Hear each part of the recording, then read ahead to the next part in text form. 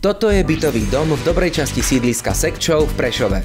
Má na blízku nákupné centrum, obchody, polikliniku, zastávku MHD, škôlku, lekáreň, mesiareň, železiarstvo, reštaurácie, pizzériu, zmrzlináreň, kaderníctvo, kozmetiku, cukráreň, autoumýváreň. Tento bytový dom má aj vlastný vnútroblok a nielen v ňom, ale aj v blízkom okolí viacero detských ihrísk a veľa, teda ešte viacej, tým myslím skutočne veľa priestoru na prechádzky.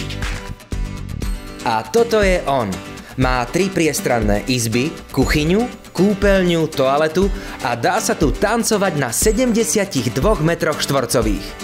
Bol by to obyčajný trojizbový byt, keby mladá rodina nezačala svoj sen obývaní úplnou rekonštrukciou. Prepojili kuchyňu s obývačkou, vymenili okná aj elektrické rozvody a natiahli nové stierky.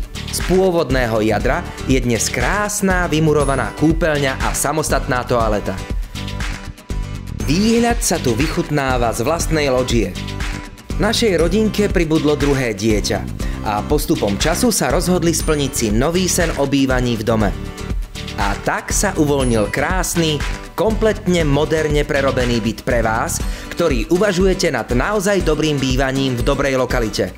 Poďme si zhrnúť, čo týmto bytom získate. Prerobenú kuchyňu a ako bonus k nej murovanú špajzu. Murovanú kúpeľňu a samostatnú toaletu. Nové elektrické rozvody, nové stierky, nové podlahy, okná aj dvere. Veľmi výhodné prevádzkové náklady. Určite stojí za zmienku, že v tejto lokalite ešte stále pohodlne zaparkujete. Tento byt je z kategórie Prišiel som, videl som, kúpil som a nasťahoval som sa.